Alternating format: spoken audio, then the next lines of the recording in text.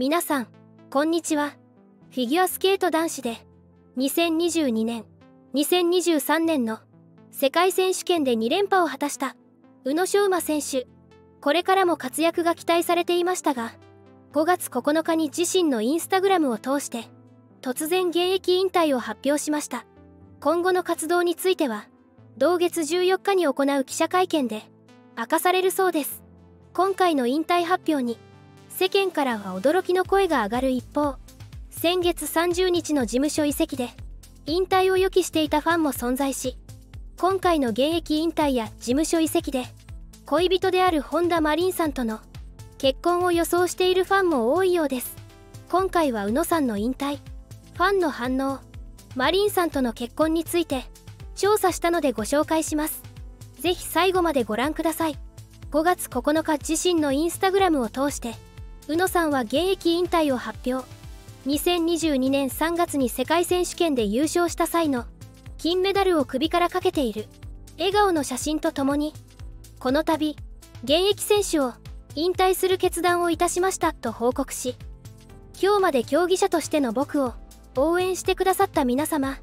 支えてくださった皆様本当にありがとうございました。とファンやスタッフに感謝を伝え5歳の時にスケートと出会い21年間続けることができ素晴らしい競技生活を送れたことにとても感謝しております。と胸中を綴っていました。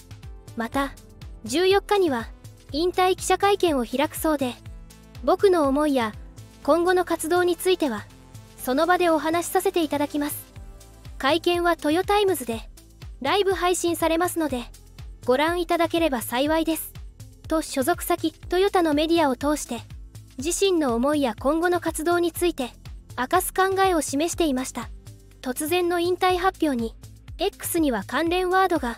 トレンド入りするとともに宇野さんの投稿にもまさかと思って投稿を開きました。びっくりですとの声が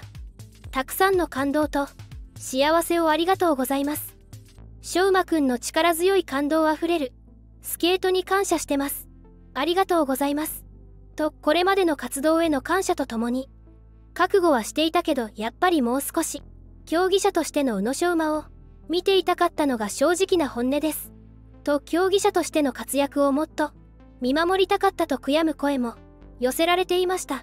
宇野選手は1997年生まれの26歳で、5歳でフィギュアスケートを始め、2015年には世界ジュニア選手権で優勝。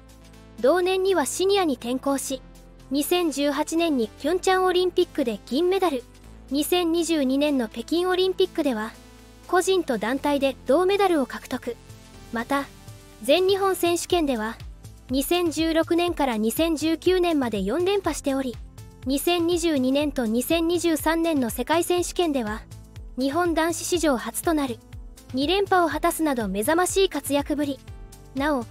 2024年5月8日には自身の YouTube チャンネルを約1年9ヶ月ぶりに更新し練習風景を披露していました。プライベートでは2022年9月にプロスケーターの本田真凜さんとの交際を公表しインスタグラムでは仲睦まじいツーショットが公開されています。なおマリンさんも2024年1月に競技からの引退を表明していました。フィギュアスケート男子元五輪代表の今後の歩みに注目が集まる宇野さんですが引退にあたっては前兆もささやかれ先月30日には全所属事務所との契約が満了し松岡修造さんや浅田真央さんらが所属するヒーローズマネジメント株式会社への移籍を発表したばかりでニュースサイトのコメント欄や SNS で「宇野くんやっぱり引退か。ああ予感はしてたけどしんどい。宇野昌磨引退か。しんどい。本当にしんどい。といった声もあった一方でなんとなくシーズン中から感じるものがありましたけどね。結婚するのかな。といった宇野さんとマリンさんの結婚を予想する声もありました。移籍したヒーローズプロジェクトには交際を公表している恋人のマリンさんも所属しています。彼女の場合は大学4年生のタイミングで競技の場から離れると決めていたそうですが宇野さんには予兆を感じるものがあり4位に終わった今年3月下旬の世界選手権で自分ともう一度向き合いたいと引退を示唆するような発言をしていました。引退後の活動はまだ明らかにされていませんがマリンさんと同じようにプロスケーター転向を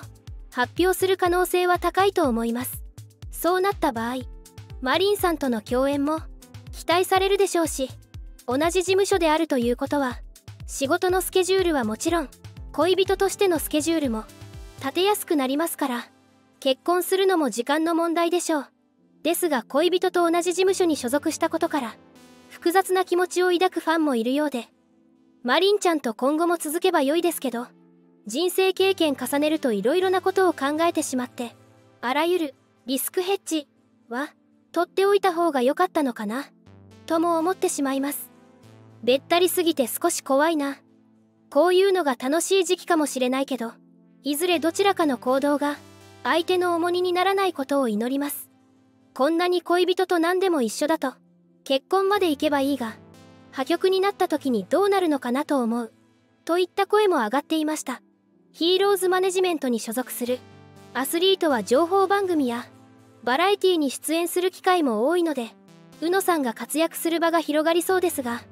一方でマリンさんと共演する可能性も考えられカップルとして売り出すような演出があればファン離れは必至。昨年9月に宇野さんは本田三姉妹の YouTube チャンネルに登場していたのですがマリンさんの好きなところを聞かれ全部と答えるほどのラブラブぶり。また昨年7月放送の「さんまのまんま初夏スペシャル」にマリンさんが妹2人と出演した際に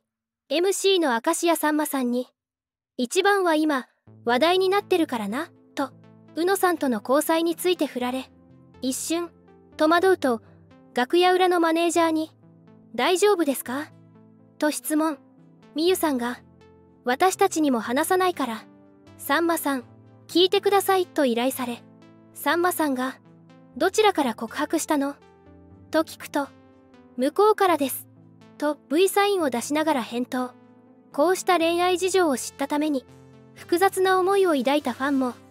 少なくなかったようです。9月に再演されるアイスショーワンピース・ゴン・アイスで宇野さんは主人公のルフィ役を演じることが決まっていますから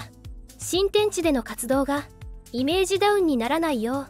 事務所がケアしてくれることを願いたいものです。スケート界では羽生結弦さんの結婚と離婚が世間から注目され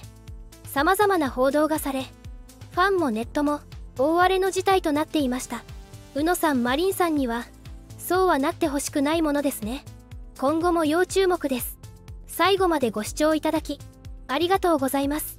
コメントを残してくれると嬉しいです。チャンネル登録高評価もぜひお願いします。それではまた。